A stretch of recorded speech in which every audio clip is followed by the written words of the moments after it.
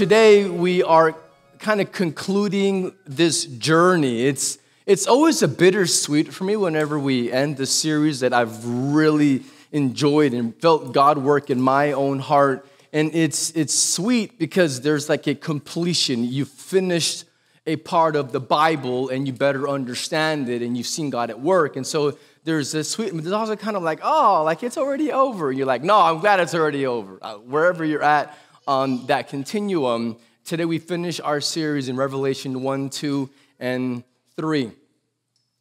You know, God, God does something whenever, whenever I have this privilege of studying the Bible and then asking the Spirit to apply it to me long before I apply it to anyone else. And I have found these last couple of months just having this, this vision of Revelation chapter 1 Jesus has been impressed on my mind and on my soul in ways that has never happened before. Just reading it afresh and falling in love with Jesus all over again and seeing his stunning radiance. And it's become part of even Bonnie and my conversation on are you trusting Revelation 1 Jesus? And sometimes I'm like, oh, woman, you're right. Like that's happened multiple times in the last couple of months. And it's like the Spirit also reminding me are you trusting in Jesus as he is clearly revealed in Revelation chapter 1? Or are you trusting in another version of Jesus that you have manufactured for yourself in your own mind? Are you trusting in, worshiping in, loving burning hot for the real Jesus as he's revealed in the inspired word of God. And we need a big vision of Jesus.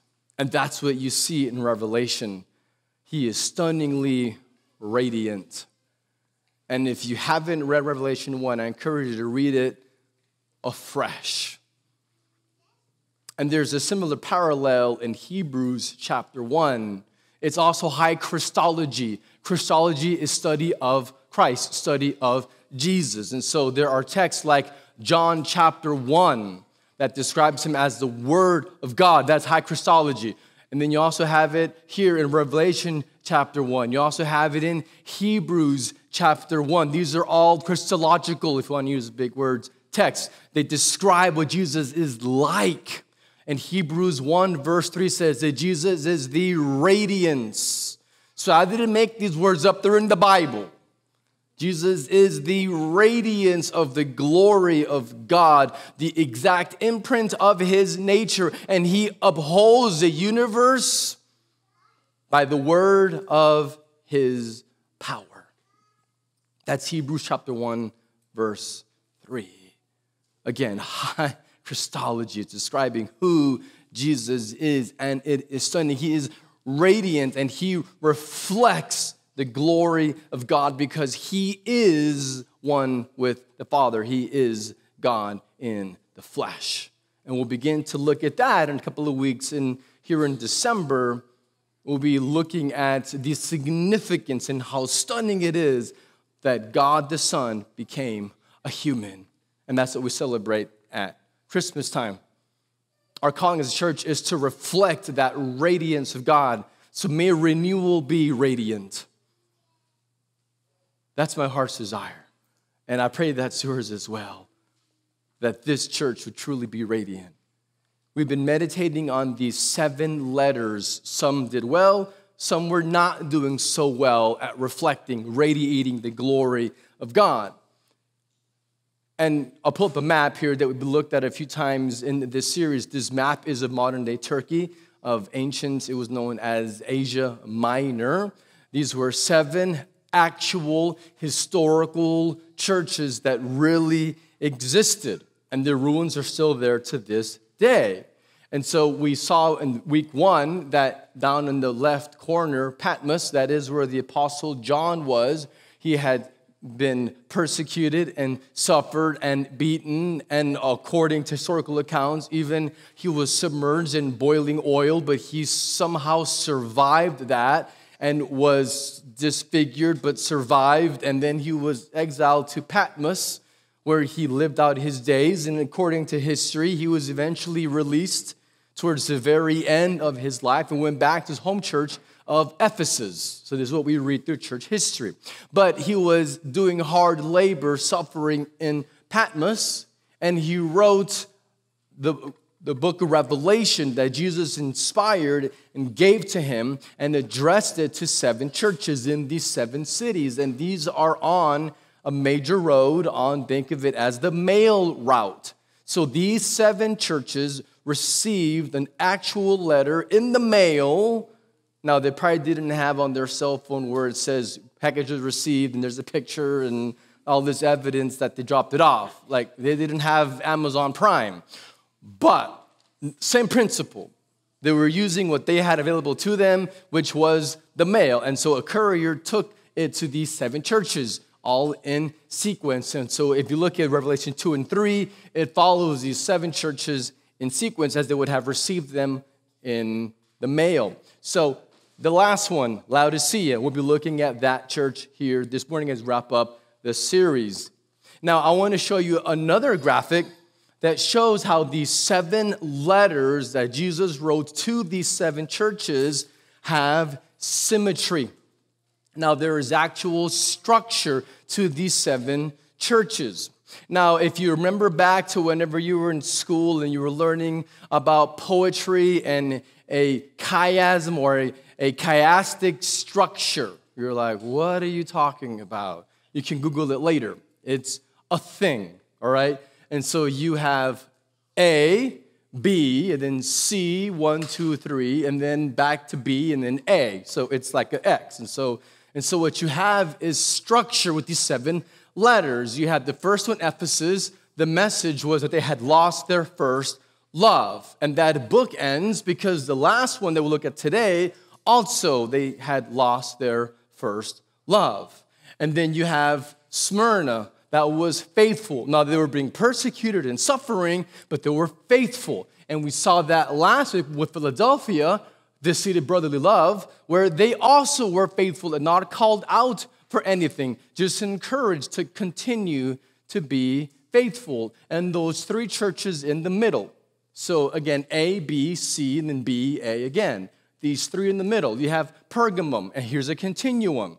They were compromised. So this is the compromised church. They allowed false teaching.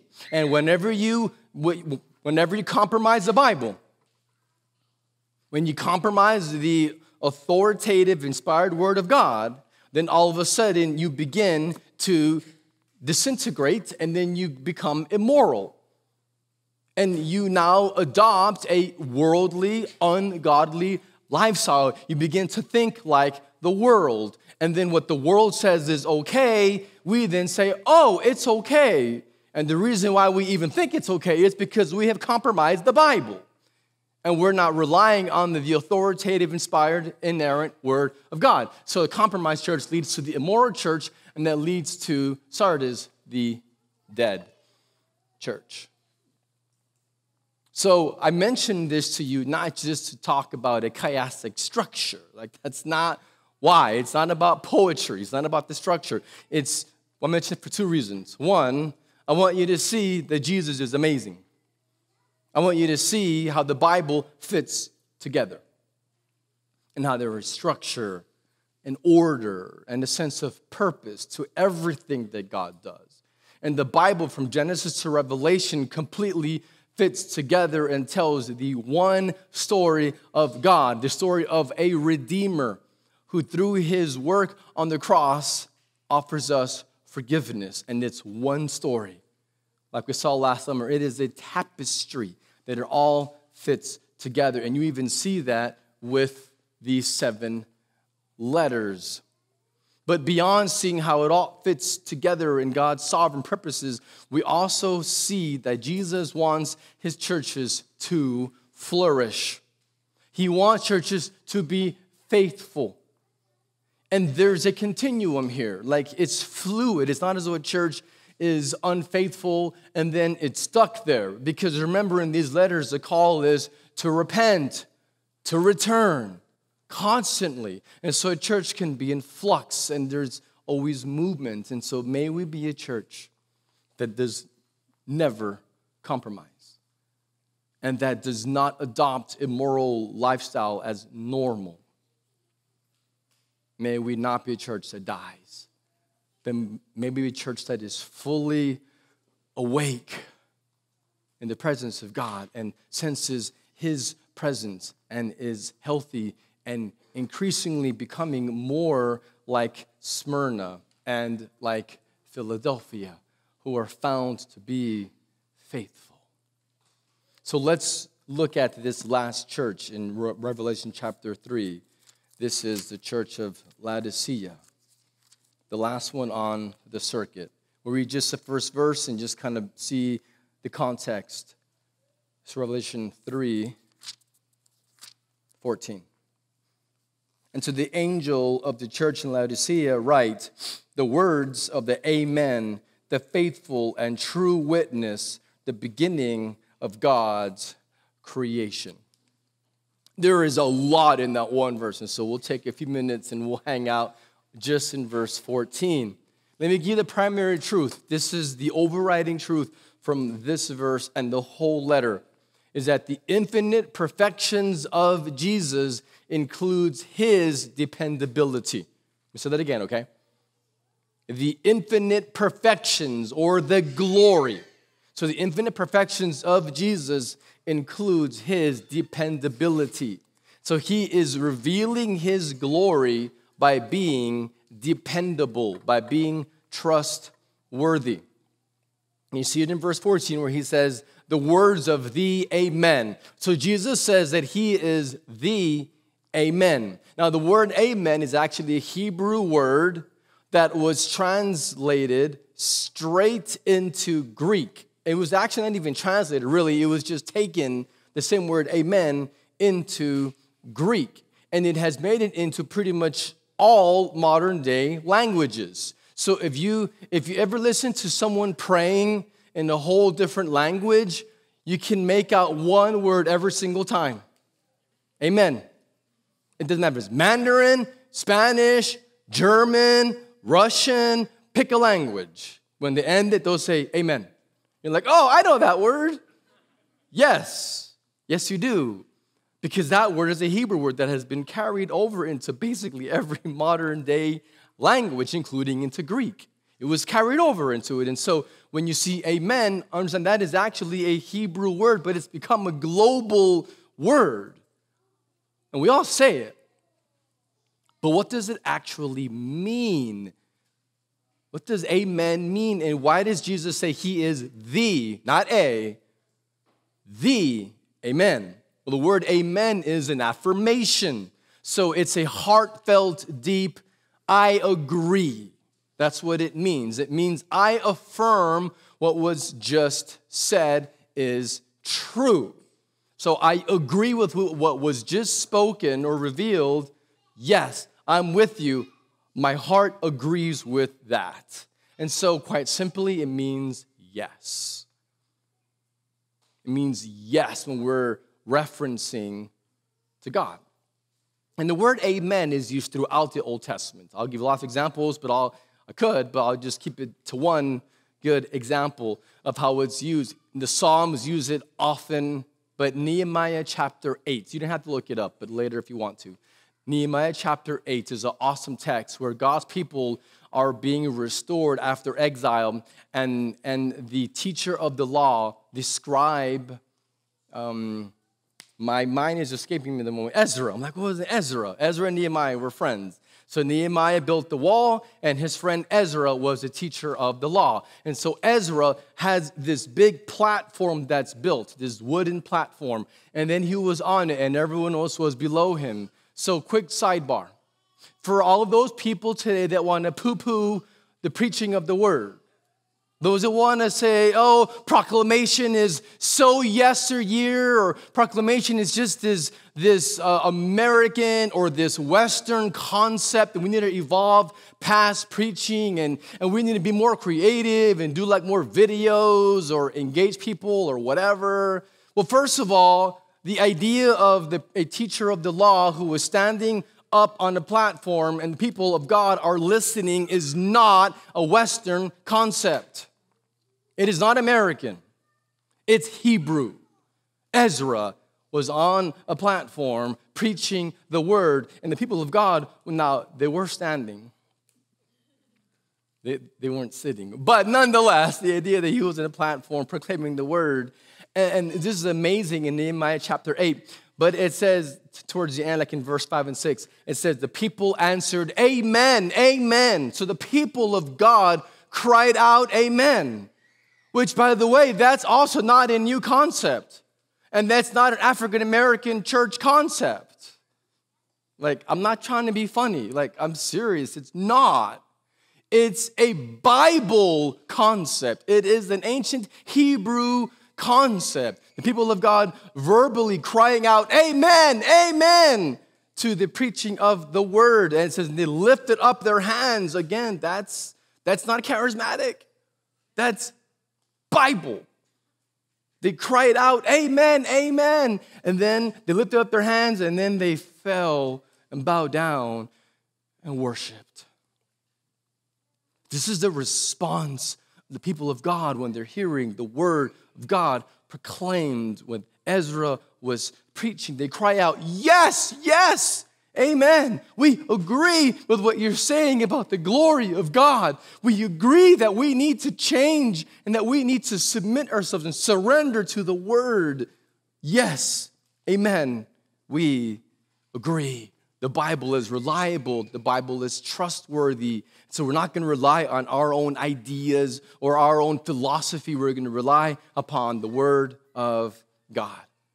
Which is why in 2 Corinthians chapter 1 verse 20. So 2 Corinthians 1:20 it says for all the promises of God find their yes. Their amen. Promises of God find their yes in Jesus. That is why we through him, Jesus, so through Jesus, we utter our amen to God for his glory. Amen. I love it. All of God's promises are yes in Jesus. And then we can declare amen because of Jesus. So Jesus is God the Father's amen to all the promises that he has spoken. So everything in the Bible that points to is fulfilled in the life, the death, the resurrection of Jesus. Jesus affirms all of it. And he doesn't just affirm it, he assures it. This is key. Jesus doesn't simply affirm what the Bible says is true about him, he affirms, but he assures it. He guarantees it. He solidifies, he grabs it and gives it to us. And how did he guarantee it? With his substitutionary death on the cross. It is all about the gospel. It's about his substitutionary, sacrificial, atoning death on the cross that takes our sin and our shame upon his holy, sinless body, and he paid it all. And so he guarantees all the promises of God. And so Jesus is literally God's amen to us. So, because if you are in Christ, if you are with all of your heart trusting in the work of Jesus on the cross, you're trusting in Jesus alone for your salvation, by God's grace alone, through your faith alone, for His glory alone. If you are trusting in Jesus, then you are in Christ. He is in you, and you are in Christ. And so Jesus is God's amen. And so here's what this means God looks at you and he says yes to you. Yes, God is for you. Yes, God loves you. Yes, your sins are forgiven. Yes, your shame is taken as far as the east is from the west. Yes, God has a purpose and a plan for you. Yes, your life matters. Yes, God says yes to you. Yes, He will never give up on you. He is declaring and he's crying out to you, Yes, and I know, I get it. You look in the mirror and you see failure. I know you look in the mirror and you see disappointment. And you see the struggle or the pain.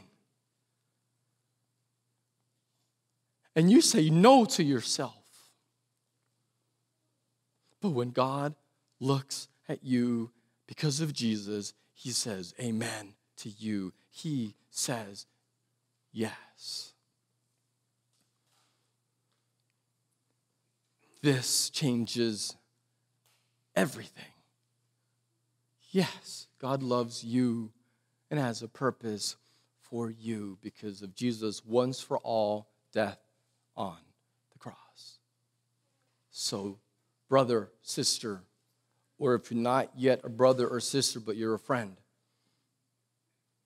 yes, you can trust in Jesus. Yes, you can. And you're made for this purpose. It says in verse 14 that he is the Amen of God and he is the faithful and true witness. That's what Amen means faithful and true witness. He is the faithful one and he is the true one. He is trustworthy, he is dependable.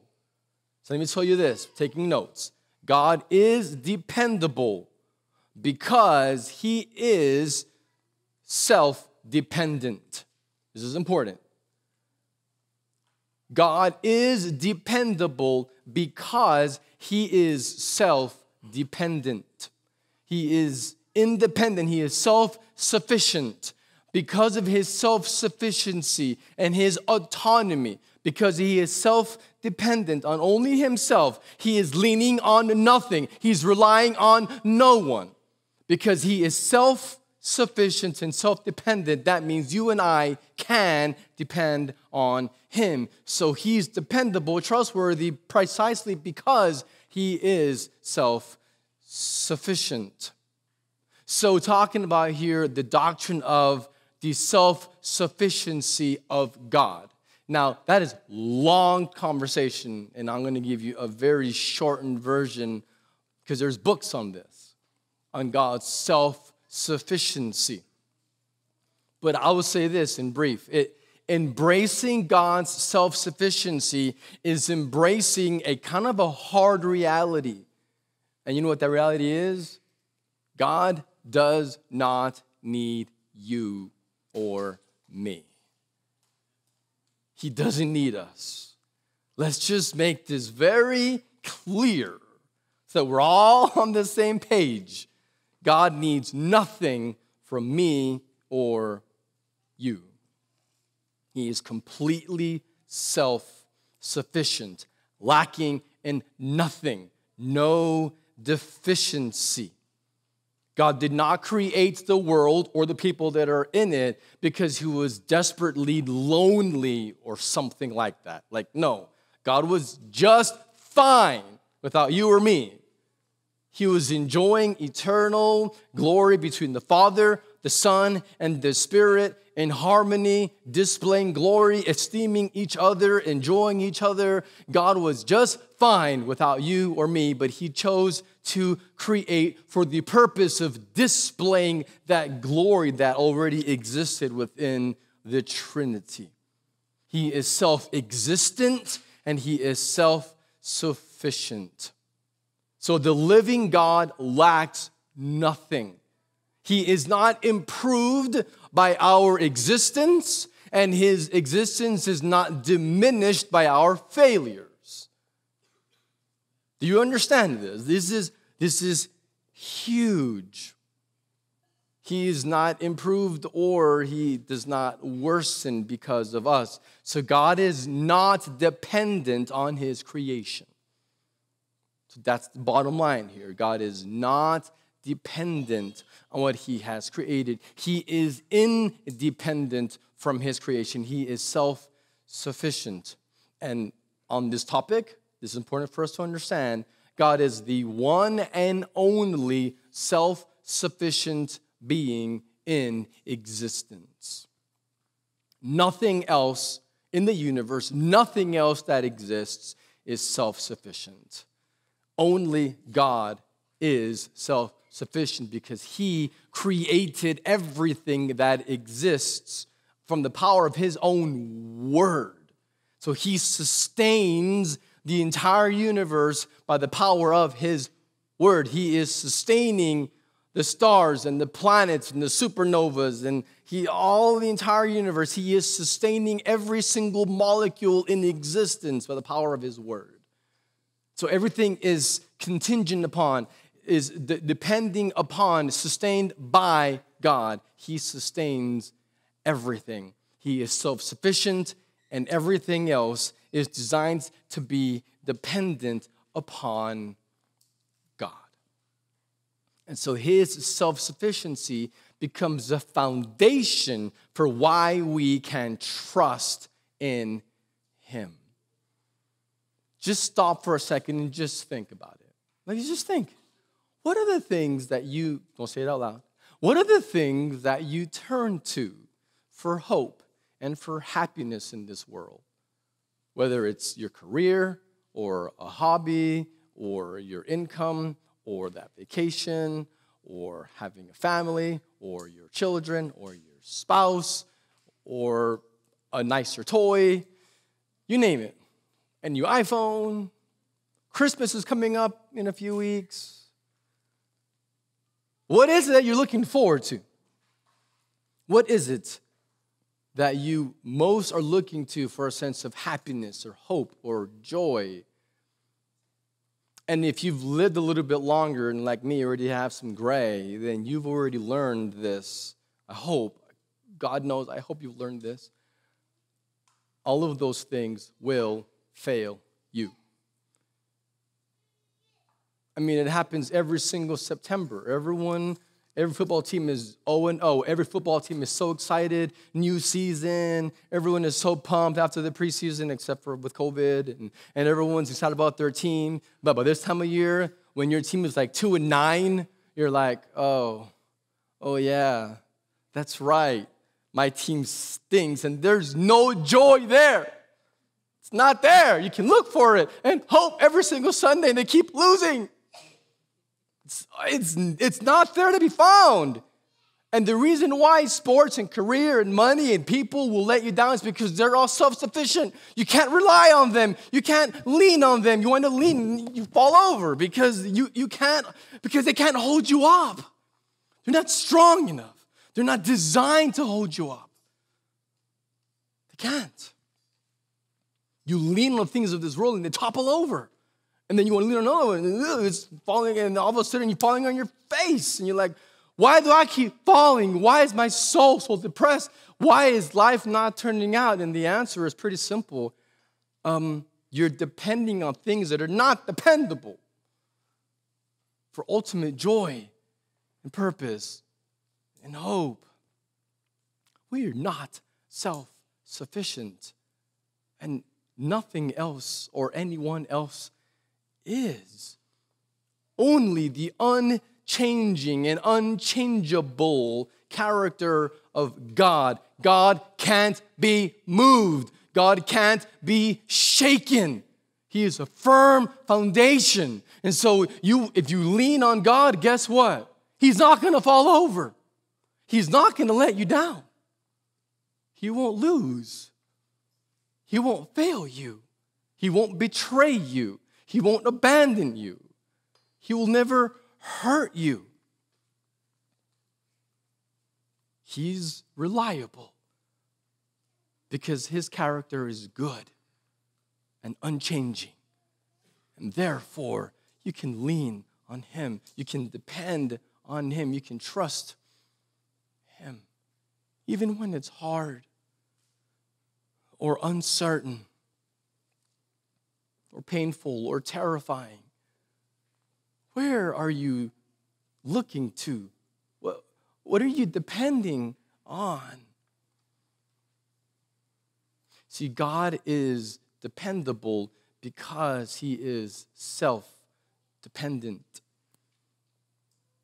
And verse 14 describes how our very purpose, which is to glorify God, is connected to our depending on Him, our trusting in Him. It says Jesus is the beginning of God's creation. Yes, we're still in verse 14. He is the beginning of God's creation. So Jesus was present at creation, He was there. Look in Colossians 1, also, high Christology describes Jesus in creation.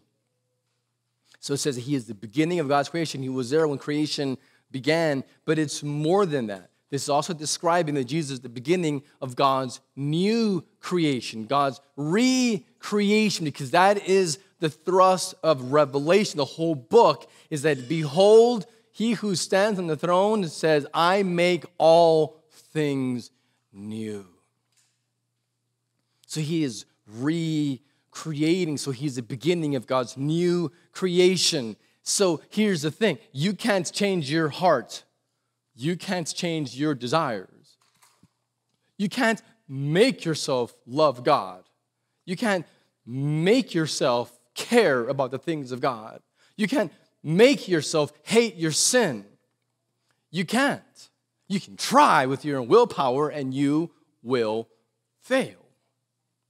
What you need is a new creation. You need to be regenerated, made new, born again from the Spirit. And then you receive a new heart, and then you can respond back to God with faith, trust, with obedience. But He takes the initiative. It is God who is at work. His Spirit is blowing and making people new. And we receive it and we respond. So we can depend on Him and we must. We're created for this. So the infinite perfections of Jesus include His dependability. Among all His infinite glorious perfections, being dependable, trustworthy is one of those characteristics that you see in this text. Now, this truth, Jesus being the Amen, the faithful one, the true one, the beginning of God's new creation, is telling us that he is fully dependable. And this is a Jesus that we worship. And may he burn in us. This truth has huge implications for how we live our lives and what our church looks like. And we give you three truths about how this matters from this text about dependence. Truth number one let's see the hazard of self dependence. From a church in Laodicea, number one, the hazard, so the dangers, the hazard of self dependence. So it's dangerous to depend upon yourself. Verses 15 through 17. I know your works. You are neither hot nor cold. Would that you be either cold or hot. So, because you are lukewarm and neither hot nor cold, I will spit you out of my mouth. For you say, I am rich, I have prospered, and I need nothing, not realizing that you are wretched, pitiable, blind, and naked. And that's just horrible. He says that you don't realize that you are wretched, pitiable, poor, blind, naked. There's real hazard, real danger in self dependence. Now, we saw on the map earlier how there were seven cities. The other six were all located on, on mountains, because there's mountains in, in Turkey. Um, but this one, Laodicea, is not on a mountain. It's the exception. It is on a valley between two other mountains, two major cities. One is Hierapolis, and the other one is Colossae. So it's in the, in the valley between these two cities, not too far away, but several miles away. So the, the city of Hierapolis was well known for on the face of their cliff, on their mountainside, that there were, there were hot springs that would flow. And these hot springs were considered medicinal, so for healing. Ever gone to hot springs in Arkansas? Then you'll see that even less than 100 years ago, like I'm talking 1900s, people would go to hot springs to find healing. Like it was this idea that if you would go and, and bathe in and drink these hot waters that filled with minerals, that it would heal you.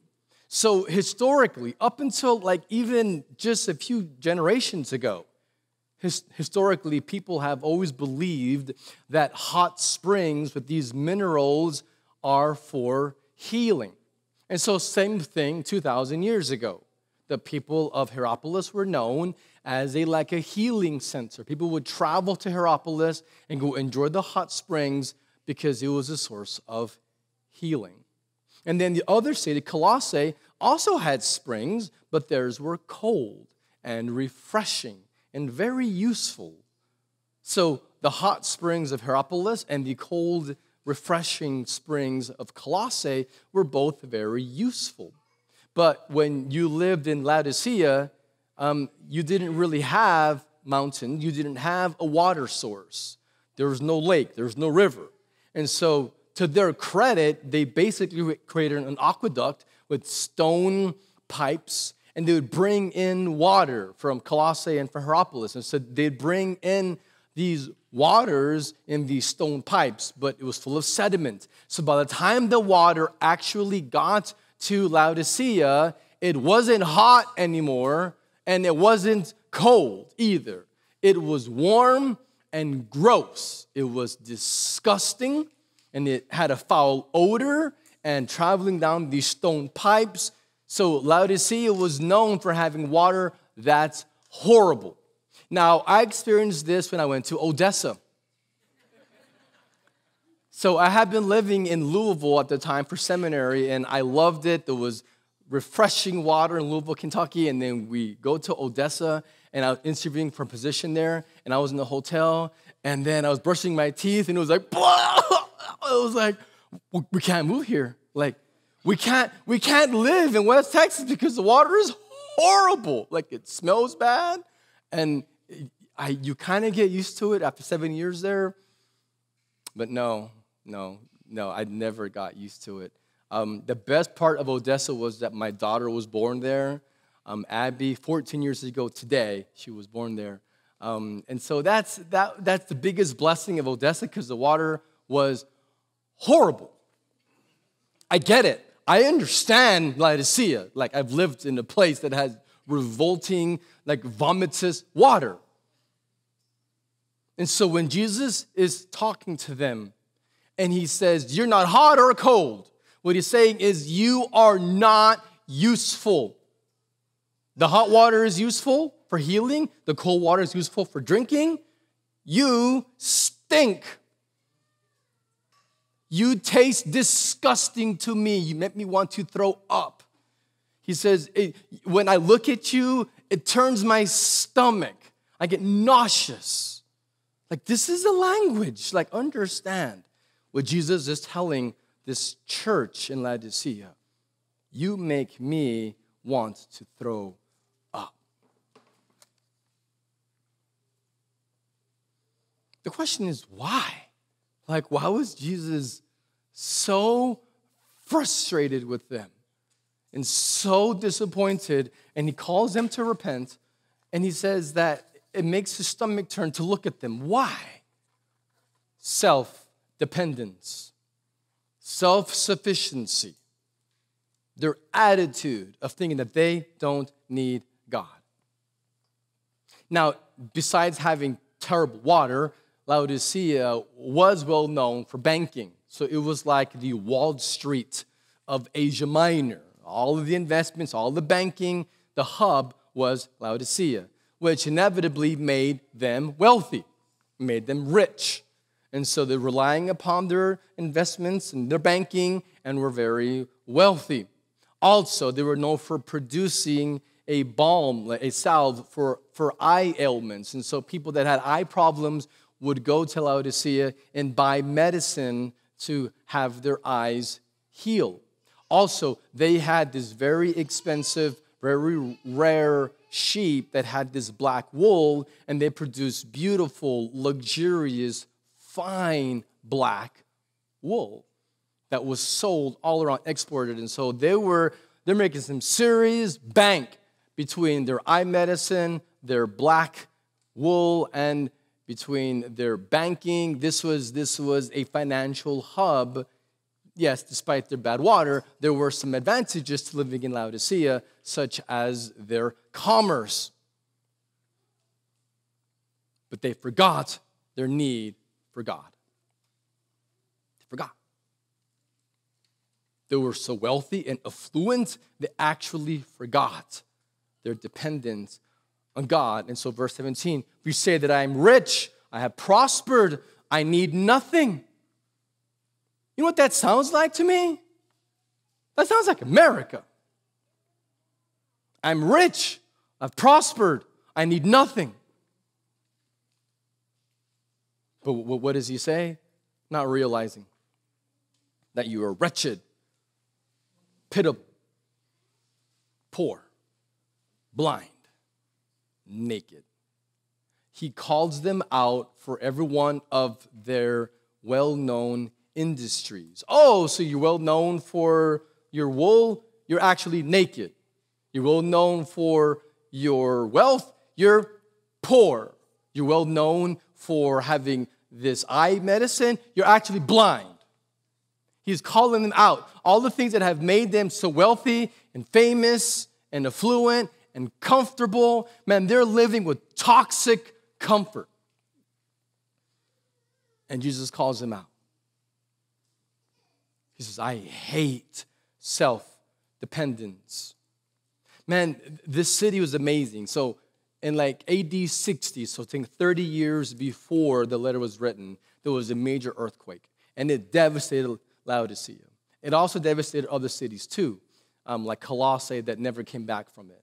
Um, but, but Laodicea actually rejected money from Rome because Rome wanted to rebuild Laodicea because of their industry. And they said, No, thank you. No handouts, no stimulus, please. We got this.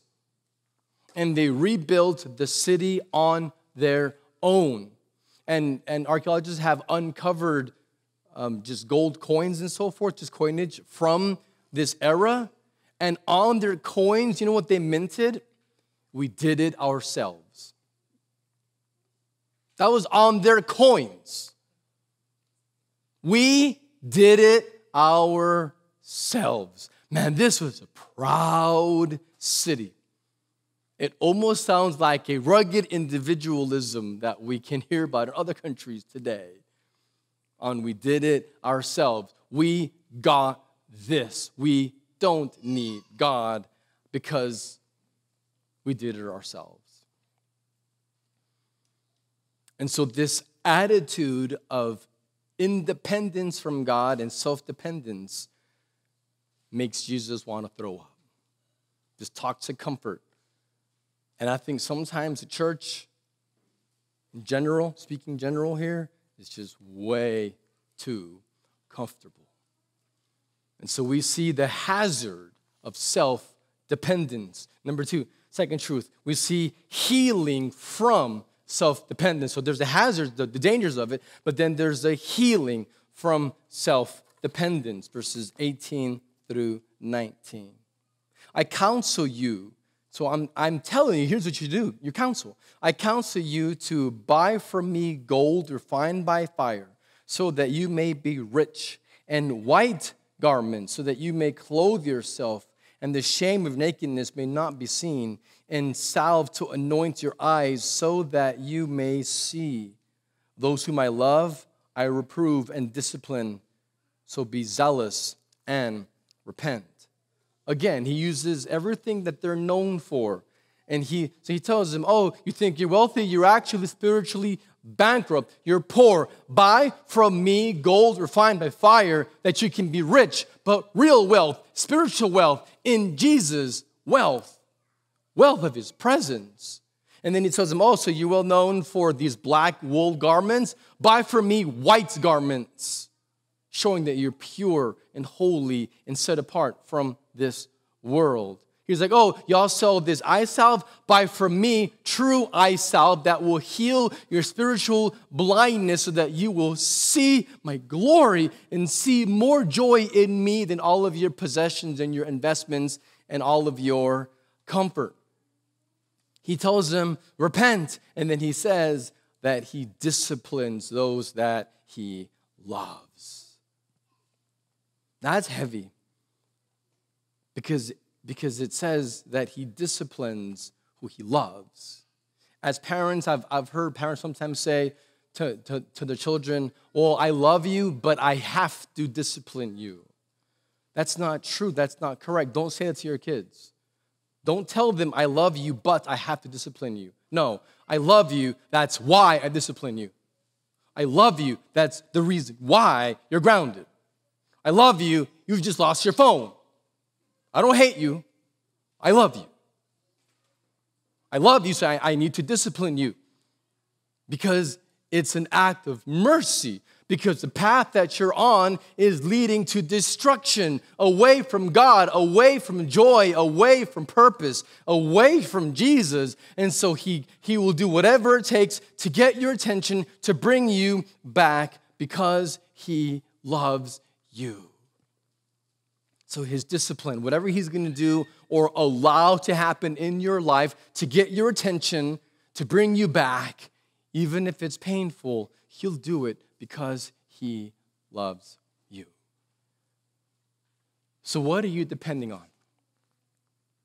What, what do you turn to to get through your day or to get through your week? What are you most hoping is in your future? That you think, if I never get this, if this, whatever this is, if this never happens, then I just can't picture life really being worth living. What if you never get it?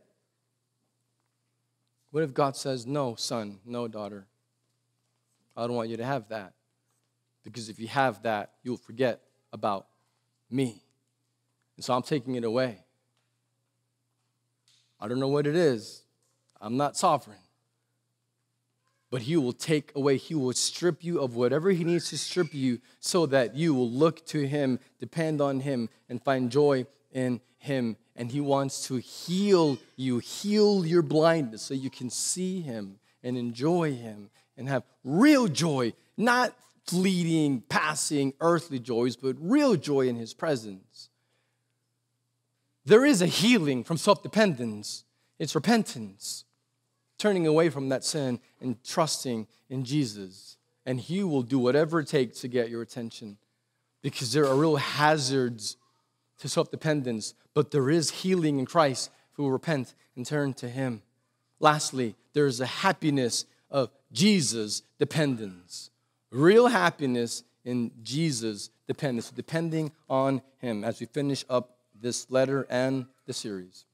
Behold, I stand at the door and knock. If anyone hears my voice and opens the door, I will come into him and eat with him, and he with me. The one who conquers, I will grant him to sit with me on my throne, as I also conquered and sat down on my Father on his throne. He who has an ear, let him hear what the Spirit says to the churches. And this is such powerful and even well known verse, verse 20. You know, the essence of the gospel is not be religious. So, some of you in here, maybe you're checking this thing out, this faith thing, and you're not sure where you're at spiritually. Well, let me just tell you something. It's not about be religious, it is not about clean yourself up and then come to God. It is not about change yourself and be a good person and then God will accept you. It's not make yourself good enough so that God can then approve of you. It's not any of that. It's not. It's verse 20. I'm at the door and I knock. If anyone hears my voice and opens the door, I will come in to him and eat with him, and he with me. The good news, the gospel, is hearing the voice of Jesus and seeing his glory and recognizing your desperate need for him and then letting him in. And then this picture of eating together. Oh man, that's a picture of enjoyment, isn't it? Thanksgiving, is, isn't that a joyful thing of sitting and enjoying each other and eating together? He says, I will come in, I will live there with you, I will eat with you, and you with me. We will be together. The gospel is receiving the goodness of God, receiving forgiveness. And this good news is that Jesus paid it all on the cross. And so we can trust in him and be made new. He promises victory in these verses. He who has conquered, because Jesus has conquered, he gives us victory. And I love this for Renewal Church. He who has an ear, let him hear what the Spirit says to the churches. Hear what the Spirit says to this church. You know, I was I was watching a philosophical film recently, and I love I love a quote from the great philosopher Olaf from Frozen. Um, it's, it's just this powerful truth. In the sequel, the magical snowman says, Did you know that an enchanted forest is a place of transformation? I have no idea what that means, but I can't wait to see what it's going to do to each one of us. Man, there's so much truth in that. Not an enchanted forest, but life of following Jesus is this journey, this path of transformation. And I'm excited to see what he's gonna do with each one of us. I'm excited to see what's going to happen because the path of following Jesus is not the path of staying the same, it's the path of transformation. And He's at work if we will depend on Him. What you will find is Jesus. And He's at work in this faith family. So I'm excited to see what He's doing because He is faithful so we can place our complete faith and trust in Him and encourage each other and be a church that truly does radiate the glory of God.